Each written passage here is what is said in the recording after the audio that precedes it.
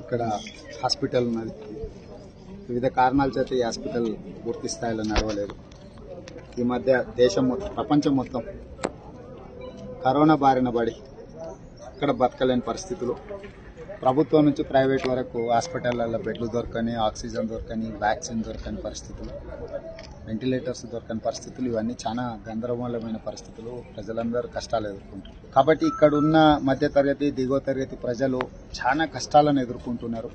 ఈ కష్టాలను దృష్టిలో పెట్టుకొని ఇటు మిలిటరీ అధికారులతో అదేవిధంగా కంటోన్మెంట్ బోర్డుతోని ఇద్దరితోని సమన్వయం చేసుకొని ఈ హాస్పిటల్ని పూర్తి స్థాయిలో పేద ప్రజలకు ముఖ్యంగా మల్కాజ్గిరి నియోజకవర్గంలో ఉన్న ప్రజలకు అందుబాటులోకి తీసుకురావాలని ఒక ప్రయత్నం చేస్తున్నాం. ఈ ఈ హాస్పిటల్లో ఏవైతే బెడ్స్ కానీ ఆక్సిజన్ పైప్ లైన్ కానీ లేకపోతే వెంటిలేటర్స్ తర్వాత సిలిండర్స్ తర్వాత జనరేటర్స్ వీటన్నిటిని కూడా నా ఎంపీ నిధుల నుంచి కొనుగోలు చేయడం జరిగింది. డిఆర్డిఓ డైరెక్టర్ సతీష్ రెడ్డి గారితో మాట్లాడితే ఇప్పుడు ఆక్సిజన్ చాలా సమస్య ఉన్నది సిలిండర్లు దొరకట్లేదు మాకు ఇబ్బంది ఉన్న కాన్స్టెన్స్ కావాలంటే వారు తక్షణమే డిఆర్డిఓ నుంచి ఒక యాభై సిలిండర్లను మనం మంజూరు చేయడం జరిగింది అవి అవి వచ్చినాయి. అదేవిధంగా హాస్పిటల్లో కూడా ఉన్న మొత్తం వ్యవస్థలు మీరు అందరు కళ్ళతో చూసారు వాటన్నిటిని కూడా సమూలంగా మార్చి అత్యంత ఆధునికంగా తయారు చేసి ఇక్కడ మల్కాజ్గిరి నియోజకవర్గంలో ఉండే ప్రజలకు కోవిడ్ బారిన పడిన వాళ్ళకు పూర్తి స్థాయిలో ప్రాథమికంగా యాభై పడకల కోవిడ్ హాస్పిటల్ రాజ్యాలని చేయాలని ఇక్కడున్న బిల్డింగ్ ఇవన్నీ వంద పడకల వరకు కూడా మనం దీన్ని పెంచుకోవడానికి అవకాశం ఉంది. దీనికి సంబంధించిన నిధులు కూడా కార్పొరేట్ కంపెనీలతో కూడా కొంతమందితో నేను సిఏఓ గారు బ్రిగేడియర్ గారు మాట్లాడడం జరిగింది. కొంతమంది మనకు ఆర్థిక సాయం కూడా సిఎస్ఆర్ ఫండ్స్ కింద ఆర్థిక సాయం చేస్తామన్నారు. వాటన్నిటిని తీసుకొని ఈ హాస్పిటల్ను ఒక పది రోజుల్లో పూర్తి స్థాయిలో వినియోగంలోకి తీసుకురావడానికి మా సాయశక్తులు ప్రయత్నం చేస్తున్నాం.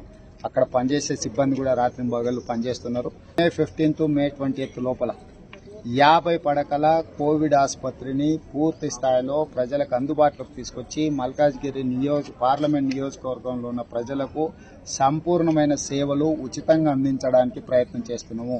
ఇక్కడ ఉండే పేషెంట్లకు భోజనం నుంచి మొదలు పెడితే ప్రతి వసతి ఒక అపోలోనో లేకపోతే యశోదానో ఒక కార్పొరేట్ హాస్పిటల్కి వెళ్తే ఎలాంటి వైద్య సౌకర్యాలు అందుతాయో అలాంటి వైద్య సౌకర్యాలను అందించడానికి కంటోన్మెంట్ సీఈఓతోని అదేవిధంగా ఆర్మీ అంటే కంటోన్మెంట్ ప్రెసిడెంట్ బ్రిగేడియర్ అభిజిత్ సింగ్తో అభిజిత్ గారితో మాట్లాడిన సమన్వయం చేసుకొని మన నియోజకవర్గంలో ఉండే ప్రజలకు ఒక అధునాతనమైన కోవిడ్ హాస్పిటల్ను అందుబాటులోకి తీసుకొచ్చి ఇక్కడ ఉండే ప్రజలకు సేవ చేయించడానికి అన్ని రకాల ప్రయత్నాలు చేస్తున్నాం.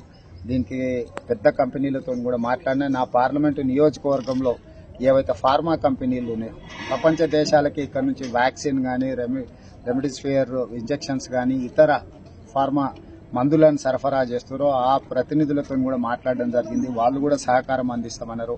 అదేవిధంగా నా ఎంపీ నిధుల నుంచి ఆల్రెడీ ఒక కోటి రూపాయలు ఇవ్వడం జరిగింది. అవసరమైతే ఇంకొక కోటి రూపాయలు కూడా నా ఎంపీ నిధులను ఇవ్వడమే కాకుండా నా వ్యక్తిగతంగా పరిచయం ఉన్న వాళ్ళతో కూడా అవసరం అనుకుంటే హాస్పిటల్లో ఉన్న వసతుల కోసం ఆర్థిక సహాయాన్ని అందించే విధంగా చేసి ఈ ప్రాంత ప్రజలు నన్ను పార్లమెంట్ సభ్యుడిగా గెలిపించారు. ఈ ప్రాంత ప్రజలు కష్టాలలో ఉన్నారు. వీళ్ళ కష్టాలను దృష్టిలో పెట్టుకొని నాకున్న పరిచయాలను నాకున్న పార్లమెంట్ అంటే ఎంపీ పదవిని నా వ్యక్తిగతంగా కూడా చేయగలిగిన అన్ని రకాల సహాయాన్ని అందించి పేదవాళ్ళకు వైద్యాన్ని అందించి పేద ప్రజల కా ప్రాణాలను కాపాడడానికి చేస్తున్నాము.